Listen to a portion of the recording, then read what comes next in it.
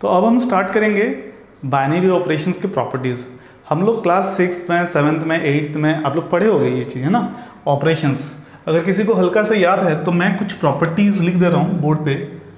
Closure second commutative ये words तो आपने सुना ही होगा. थर्ड एसोसिएटिव फोर्थ आइडेंटिटी और फिफ्थ इनवर्स ये पाँच प्रॉपर्टीज़ हैं।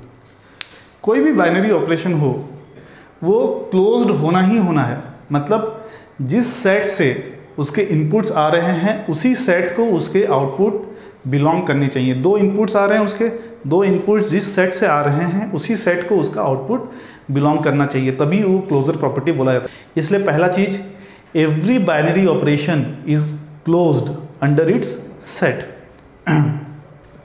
तो ये तो हो गया। तो इसको पढ़ने की ज़रूरत नहीं है अपने को। हम लोग जो पढ़ेंगे, हम लोग ये चार चीज़ पढ़ेंगे। कम्यूटेटिव एसोसिएटिव आइडेंटिटी और इन्वर्स कम्यूटेटिव कौन से कौन से ऑपरेशन को कम्यूटेटिव ऑपरेशन बोला जाता है?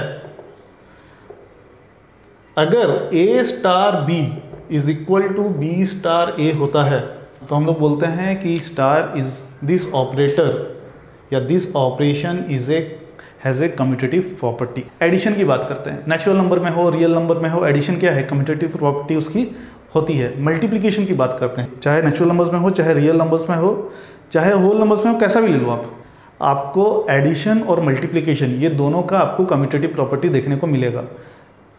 सब्ट्रैक्शन का देखने को नहीं मिलता। रियल नंबर बाइनरी ऑपरेशन है। Subtraction in real numbers is a binary operation but subtraction in real numbers is not commutative इस चीज़ को ध्यान से सुनो। Subtraction in R is binary operation but not commutative तो कम्यूटेटिव क्या होता है? एडिशन होता है मल्टीप्लिकेशन होता है सब्ट्रैक्शन कम्यूटेटिव नहीं होता है। दूसरा पॉइंट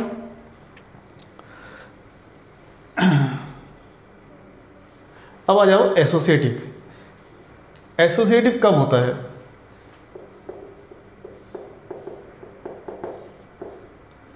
अगर A star B star C हम लोग करते हैं, और A star B star C इस तरह से, ये चीज़ आपने बचपन में पढ़ा होगा। ठीक है ना? आप पहले ए और बी के बीच में ऑपरेशन किए, और जो रिज़ल्ट आया, उसका ऑपरेशन आप सी के साथ किए। या फिर आप पहले बी और सी का ऑपरेशन किया और जो रिज़ल्ट आया, उसका ऑपरेशन आपने ए के साथ किया। अगर ये दोनों चीज़ सेम होती हैं, तब हम लोग बोलते हैं, फिर ये ऑपरेशन जो है, ये एसोसिएटिव प्रॉपर्टी होल्ड करता है। अदरवाइज़ नहीं। सब्ट्रैक्शन में तो ऑब्वियसली एसोसिएटिव प्रॉपर्टी नहीं होगा। एडिशन में होता है, अगर तीन नंबर्स का एडिशन कर रहे हैं, दो बार ऑपरेशन करके तो आप लेफ़्ट से भी शुरू कर सकते हैं ऑपरेशन और राइट से भी शुरू कर सकते हैं ऑपरेशन ठीक है? तो इसलिए एडिशन भी हो गया चाहे मल्टीप्लिकेशन की बात करें मल्टीप्लिकेशन भी हाँ मल्टीप्लिकेशन भी अपना है। मल्टीप्लिकेशन भी अपना एसोसिएटिव है। ठीक है? तो ये कुछ जनरल चीज़ें हैं। कम्यूटेटिव क्या हो गया? एसोसिएटिव क्या हो गया? बात समझ में आ गई? अब बात करते हैं आइडेंटिटी की।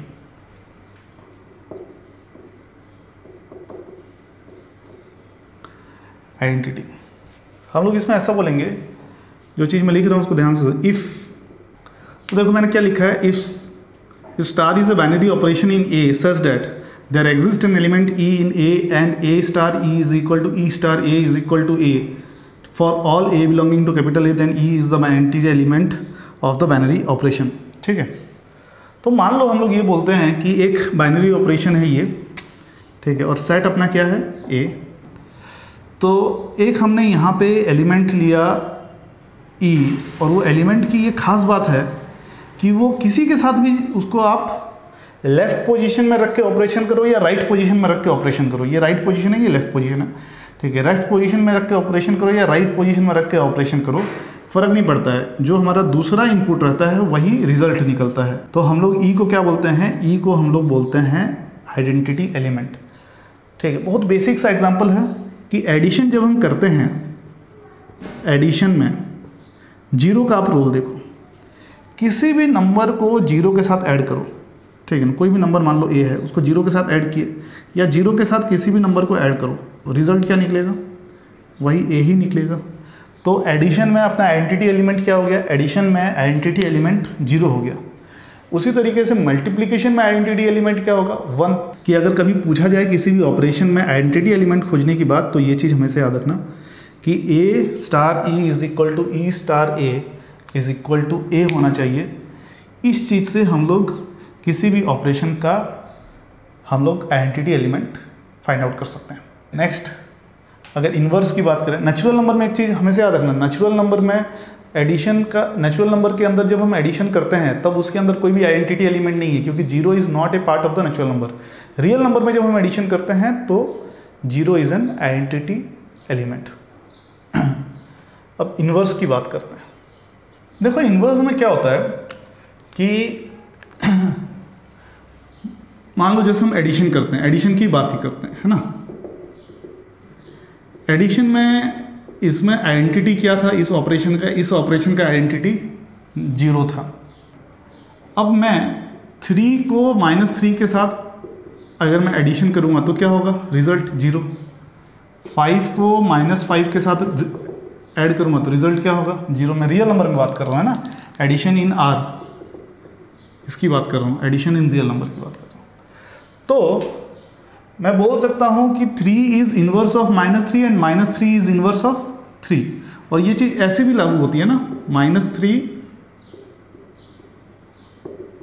minus five plus five तो ये स्ट्रक्चर देख रहे हैं आप, ठीक है? क्या हो रहा है? एक नंबर एक दूसरे नंबर के साथ ऑपरेशन में हो रहा है और रिज़ल्ट क्या निकल रहा है, जो आइडेंटिटी था, वही रिज़ल्ट निकल रहा है। तो उस केस में हम लोग बोलते हैं कि ये दोनों नंबर्स एक दूसरे के क्या हैं? इन्वर्स हैं। Five and minus five are inverse of each other तो इन्वर्स का मतलब क्या हुआ? If star is a binary operation in A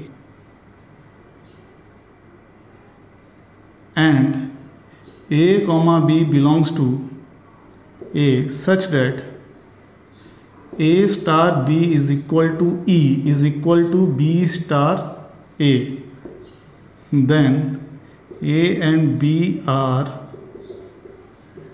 inverse of each other ये बेसिकली इन्वर्स के बारे में हम लोग बोल सकते हैं। If star is a binary operation in A and A और बी दोनों ए को बिलोंग कर रहे हैं such that A star B करें और बी स्टार ए करें, दोनों की रिज़ल्ट अगर ई e आएगी। ई e क्यों? क्योंकि वो आइडेंटिटी ही एलिमेंट ही आनी चाहिए। ठीक है ना? तब हम लोग बोलते हैं कि A and B are inverse of feature जैसे हम लोग, हम अभी जैसे एडिशन की बात की, वैसे मल्टीप्लिकेशन की बात करते हैं। है ना? मल्टीप्लिकेशन में अपना आइडेंटिटी एलिमेंट क्या होता है? ई e वन होता है सॉरी तो वन होता है तो मैं अगर नेचुरल नंबर्स की बात नहीं कर रहा हूँ, मैं रियल नंबर्स में बात कर रहा हूँ। ठीक है नेचुरल नंबर्स में तो एग्जिस्ट नहीं करेगा रियल नंबर्स में बात कर रहा हूँ। तो मान लो एक नंबर मैंने फाइव लिया तो उसका बाइनरी ऑपर उसका इन्वर्स एलिमेंट क्या होगा? उसका inverse element one by five होगा। क्यों वन बाय फाइव होगा? क्योंकि जब मैं five into one by five करूँगा तो वन आएगा, और मैं one by five into five करूँगा तब भी वन आएगा। अब सवाल ये है कि एक बाइनरी ऑपरेशन ठीक है ना, जिसके अंदर हर बाइनरी ऑपरेशन का आइडेंटिटी एग्जिस्ट नहीं करता है। पहले ये कुछ चीज़ें हैं, जान लो।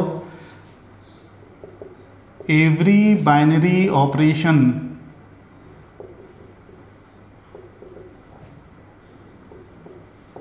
doesn't have an identity element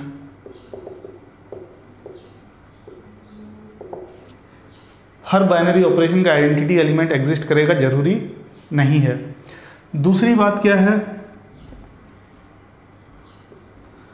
दूसरी बात even if a binary operation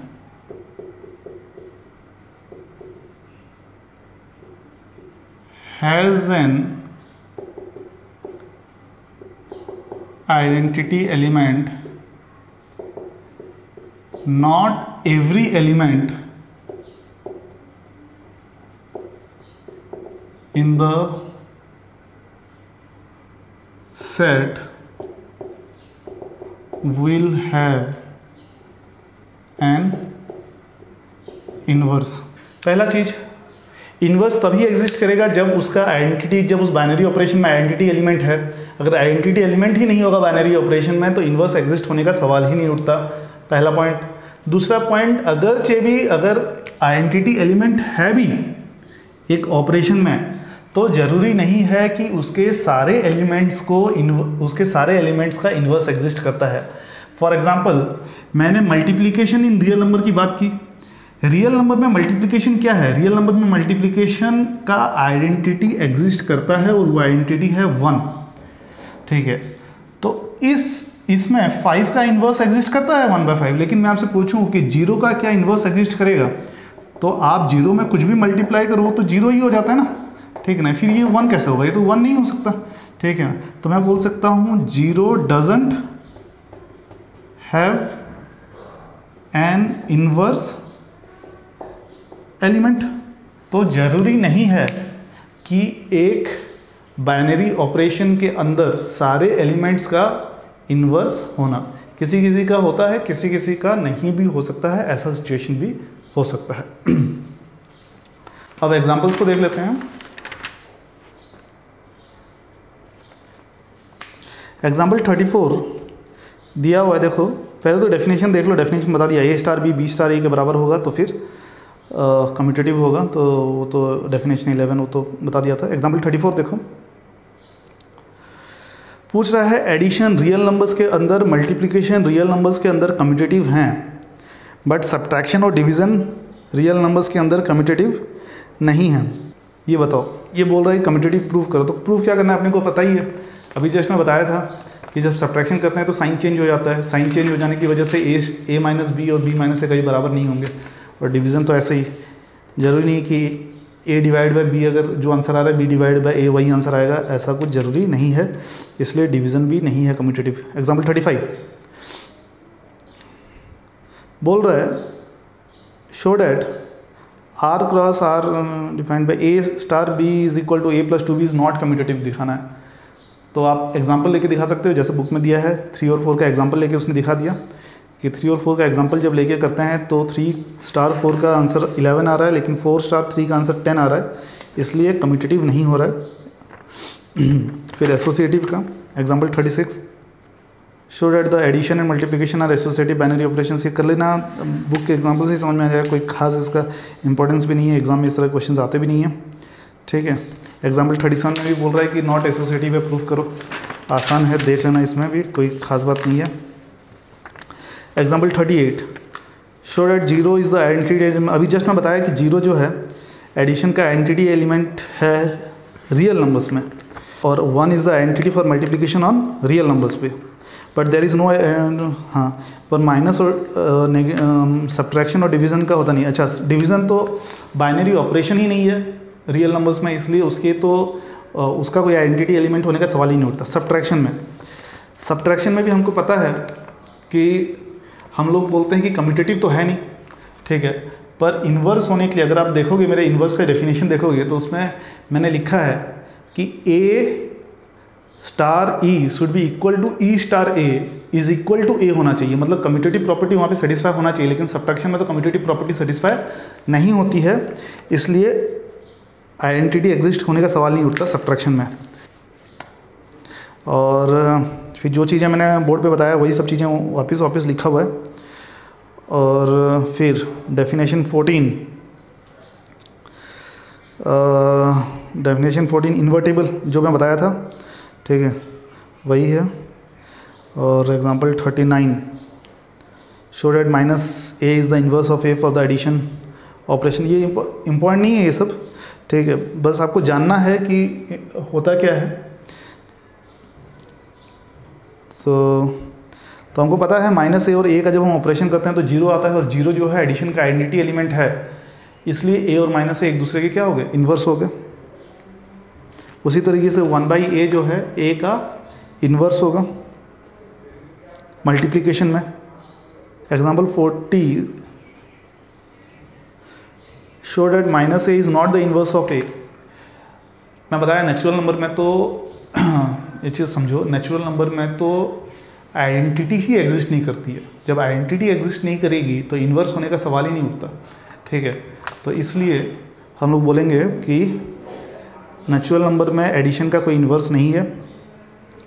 और एग्जांपल 40 में one by A is not the inverse of A again identity natural number में मल्टीप्लिकेशन का एग्जिस्ट करता है। लेकिन अगर ए एक नेचुरल नंबर है तो वन बाई ए तो नेचुरल नंबर नहीं होगा। ठीक है ना? फिर से बोल रहा हूँ ए अगर नेचुरल नंबर है तो one by A natural number नहीं होगा। तो फिर हम कैसे बोल रहे हैं कि ए और वन बाई ए एक दूसरे के इन्वर्स हैं? हो नहीं सकता। ठीक है ना? इसलिए नेचुरल नंबर्स के अंदर मल्टीप्लिकेशन का भी इन्वर्स एग्जिस्ट नहीं करता किसी भी एलिमेंट के लिए। सिर्फ़ वन के लिए एग्जिस्ट करता है वन खुद का जो है इन्वर्स है। यहाँ पे बाइनरी ऑपरेशन ख़त्म होता है। कमिंग वीडियोस में हम आ, इसके क्वेश्चन आंसर्स देख लेंगे। इसमें मुझे जो भी लगेगा कि ये क्वेश्चन आंसर्स डिस्कस करने चाहिए उसको मैं कमिंग वीडियोस में वो क्वेश्चन आंसर्स मैं पुट कर दूँगा। क्वेश्चंस के आंसर्स किस तरह से सॉल्व की जाती है क्या बोर्ड के इंपॉर्टेंट पेपर्स क्वेश्चंस हैं ठीक है? वो सब क्वेश्चंस अपने कमिंग वीडियोस में करेंगे।